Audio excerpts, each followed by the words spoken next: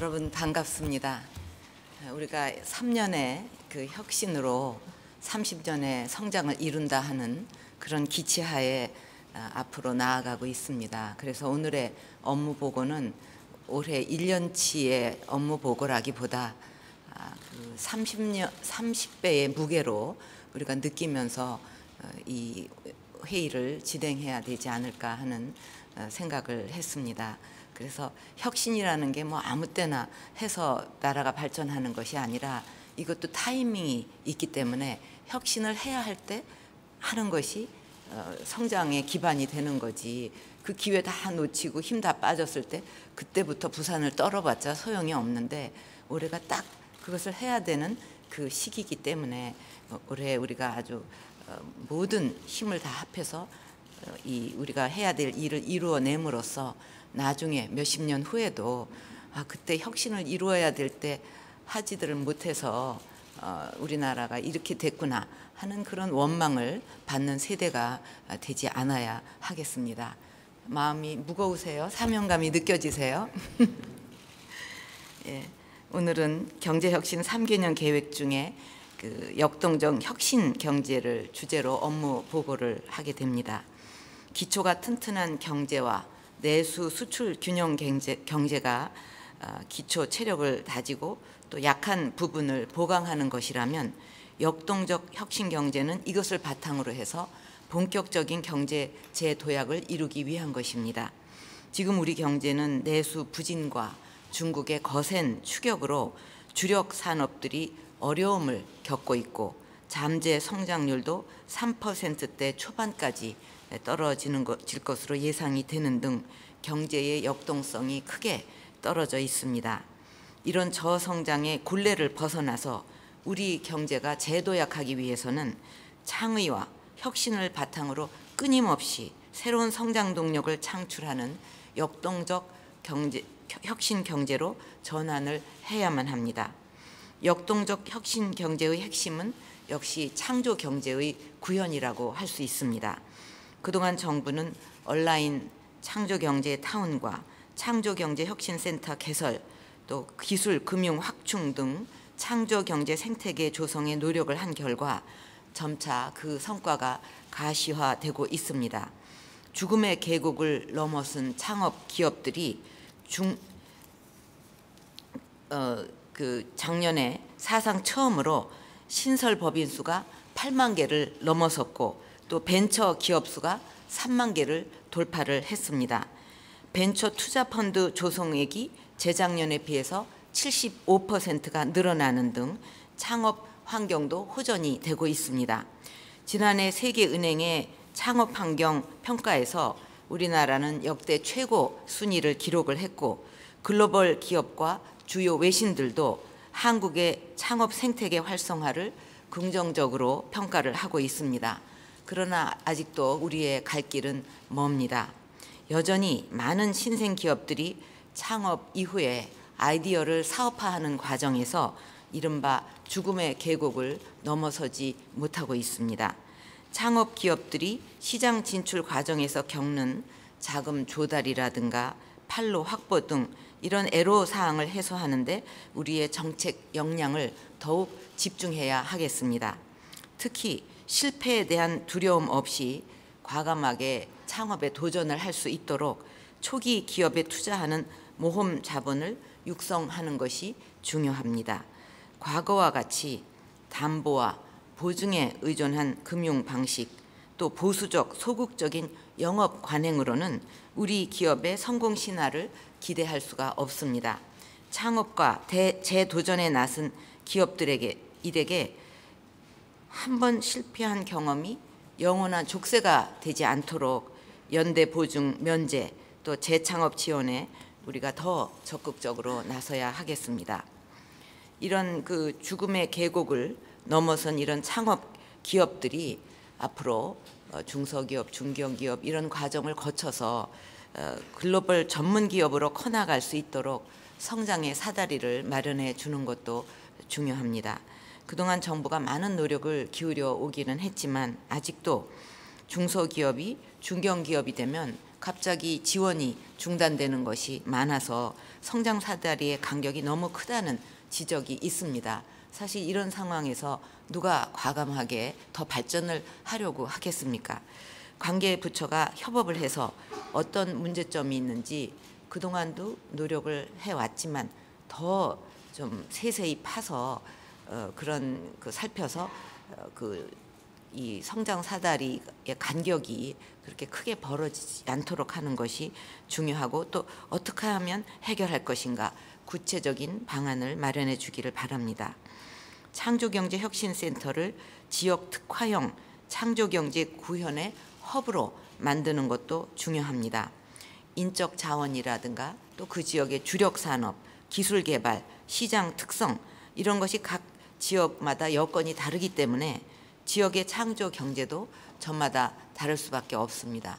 이것을 무시하고 한다고 한다면 사실은 창조 경제라고 할 수도 없겠죠. 그래서 중앙에서 획일적으로 추진하기보다는 지역의 특성과 역량을 가장 잘 아는 지역의 기업과 대학, 연구기관, 지자체들이 중심이 될 때 창조 경제는 화려하게 꽃을 피울 수가 있을 것입니다. 바로 이런 지역 특화형 창조 경제를 구현하기 위해서 창조 경제 혁신 센터는 지역의 다양한 혁신 역량을 결집해 녹여내는 창조 경제의 용광로가 되어야 하겠습니다. 우리가 지역 발전을 위해서도 힘을 많이 쏟고 있지만 어떤 그렇게 돼야 된다, 균형 발전을 이루어야 된다 이런 얘기보다는 이런 것이 거점이 돼서 그 지역의 창조 경제 역량을 또 그런 인재들이 확 모여서 발전하게 하는 것이 실질적으로 지역 발전을 이루는 길이라고 생각을 합니다. 금년 상반기에 17개 창조경제혁신센터 출범을 차질 없이 마무리를 해서 누구라도 대한민국이라는 곳에서는 누구라도 좋은 아이디어를 가지고 있으면 사업화, 투자 유치, 판로 개척, 해외 진출까지 원스톱으로 지원을 받을 수 있는 나라다. 이렇게 소문이 날 정도로 우리가 해야 됩니다. 또 창조경제혁신센터를 계속 하면 거기서 끝나는 것이 아니라 그것이 뿌리가 내려야 됩니다. 이런 지원이 어, 그 이루어지다 말면 안 되고 지속적으로 아주 뿌리가 튼튼하게 내릴 수 있도록 계속 관심을 가지고 지원하고 독려하고 또 뭐 좀 잘못 안 되는 부분이 있는가 하는 건 찾아내고 이런 노력이 있어야만 비로소 창조경제혁신센터가 제 역할을 할 것입니다. 또 창업 지원뿐만 아니라 제조업, 농업, 문화 등 우리 산업 전반을 혁신하기 위한 또 거점 역할을 해야 하고 대기업과 지역의 중소벤처기업의 상생 모델도 만들어 가기를 바랍니다. 그러니까 대기업과 그 중소 그 벤처기업은 서로 이렇게 상반되는 그런 것이 아니라 서로가 필요한 또 중소기업도 아 우리도 대기업이 필요하다. 대기업도 이런 역동적인 벤처 창그 기업이 필요하다. 이렇게 서로가 느끼고 또 상생을 할 수 있는 그런 풍토가 어, 이 혁신센터를 중심으로 퍼져나가기를 바랍니다. 또 전통 시장은 어, 서민 경제의 현장이라고도 할 수가 있는데 여기도 어, 여태까지는 뭐 카노피를 만들고 주차장을 만들고 이런 하드웨어적인 것을 많이 지원을 했지만 그것으로는 부족하다. 역시 소프트웨어적인 지원이 필요하다고 생각을 합니다. 그래서 디자인, 문화, 기술의 접목 등을 통해서 이곳에서도 창조 경제가 확산될 수 있도록 적극 지원해야 하겠습니다. 어, 그러면 이 디자인이라든가 어떤 그 문화 이런 쪽으로 지원을 할 수 있는 그런 어, 전문가들이 참 그 전통 시장의 번영회라든가 그 상업 그 지역의 대표들하고 같이 한번 만나서 어, 이 지역 이 전통 시장은 이러이러한 특성이 있기 때문에 이렇게 우리가 문화적으로 접근을 하면 좋겠다든가. 그럼 또 현장의 전통 시장의 상인회에서는 우리가 그때 볼 때 이렇게 이렇게 하면 발전을 할 수 있겠다든가. 이런 아이디어를 서로 주고 받으면서 아 이렇게 해보자 하는 공동의 목표를 가지고 노력을 해 나갈 때 그냥 일방적인 지원을 받고 이렇게 합시다 하는 것보다는 훨씬 그 참여도도 높고 뭘 해보겠다 하는 그 동기가 생길 거라고 봅니다. 그런 노력도 올해 해야 되지 않을까 생각합니다. 역동적 혁신, 혁신경제 구현의 또 다른 핵심 과제는 미래 대비 투자입니다. 신기술이 신제품을 넘어서 신산업으로 발전하고 또 서로 다른 기술이 융합을 해서 기존 산업의 경쟁력이 높아질 때 경제의 역동성도 높아지고 또 미래 성장 원천을 확보할 수가 있습니다. 지금 중국 등 신흥국의 추격과 엔저를 바탕으로 한 일본의 공세로 우리 주력 산업들이 어려움을 겪고 있습니다. 이런 도전을 극복하고 주력 사업이 산업이 제2의 도약을 이루기 위해서는 스마트 공장을 보급해서 생산성을 높이고 디자인, 엔지니어링 등 여, 엔지니어링 등 여기서도 소프트 파워를 강화해야 합니다. 자동차는 가솔린이 아니라 소프트웨어로 달린다 하는 말을 할 정도로 제조업에서 ICT의 비중이 커지고 있는 만큼 ICT와의 융합을 통해서 제조업을 혁신하는 데 힘을 모아야 하겠습니다. 할 게 참 많죠. 아직도 드릴 말씀이 많습니다. 바이오, 기후변화 대응, 나노 등 유망 분야의 원천 기술을 선제적으로 확보를 해서 과거에 없었던 새로운 산업과 일자리를 창출하는 것도 중요합니다. 고령화와 기후변화, 재난, 재해 등을 위기로만 보는 사람들은 발전을 할 수가 없습니다. 이것을 해결하는 기술을 적극 개발하는 기회로 삼는 사람만이 발전할 수가 있다고 봅니다. 그래서 그 기술을 바탕으로 해서 새로운 산업을 창출해야 합니다. 신생 기술 개발에는 시간과 비용이 많이 들고 또 실패 위험도 크기 때문에 이것은 정부가 선제적으로 투자하고 나설 수밖에 없는 분야입니다.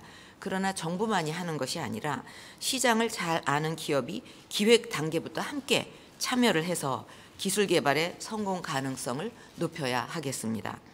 또 요즘은 하나의 기술 개발이 끝나면 곧바로 새로운, 새로운 기술이 나오는 시대입니다.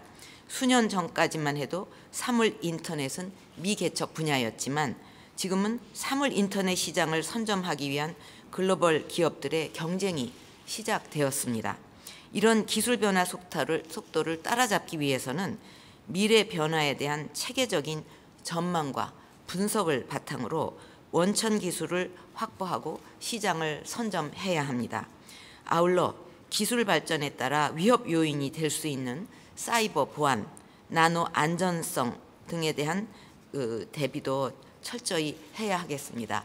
사물 인터넷 해야 된다 하고 여기에만 그 집중하면 근데 보안에 대해서 우리나라는 취약하다 하면은 그게 발전할 수가 없지 않겠습니까? 모두 불안해서 그렇기 때문에 이 부분도 같이 어, 노력을 시작을 해야 되겠습니다. 국가 R&D 시스템을 혁신하는 것도 중요합니다. 우리나라 R&D 투자 규모는 세계에서 가장 높은 수준인데도 어, 불구하고 기술 이전과 어, 사업화 성과가 여전히 미흡해서 투자한 만큼 효과를 보지 못하고 있습니다. 정부 출연 연구소와 기업 대학의 기업 지원 강화, 세계 최고 수준의 미래 원천 기술 개발 등 미래에 대비한 R&D 혁신 방안을 마련하기를 바랍니다. 미래 대비 투자에서 또 빼놓을 수 없는 중요한 분야가 문화 컨텐츠 산업입니다.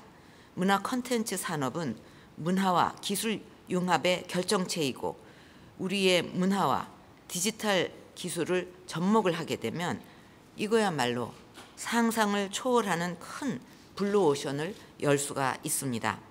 특히 방송 산업은 미래 성장 가능성이 매우 높고 젊은 층이 선호하는 일자리를 많이 만들어내는 산업입니다. 방송 산업 활성화를 저해하는 낡은 규제와 칸막이들을 혁파하고 인력 양성, 기술 개발, 사업 지원 등 컨텐츠 제작 환경도 개선을 해서 방송 컨텐츠의 세계 시장 진출을 뒷받침해야 하겠습니다.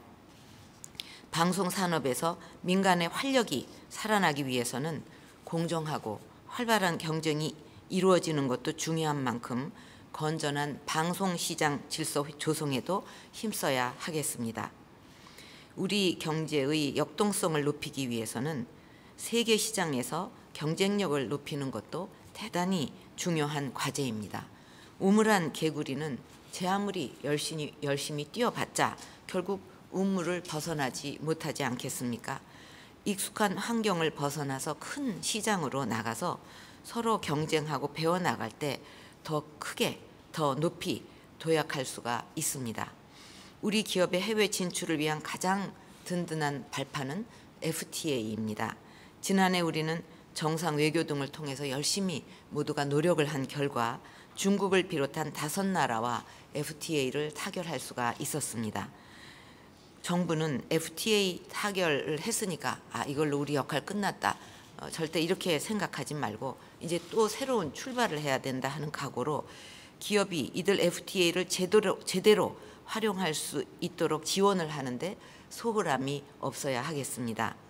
해외로 진출하는 기업들에게 소비 패턴과 바이오 성향 등 시장 정보를 제공하고 FTA 관세 혜택을 받는데 어려움은 없는지 비관세 장벽은 없는지 이 기업들의 어려움을 하나하나 해결해 주어야 하겠습니다.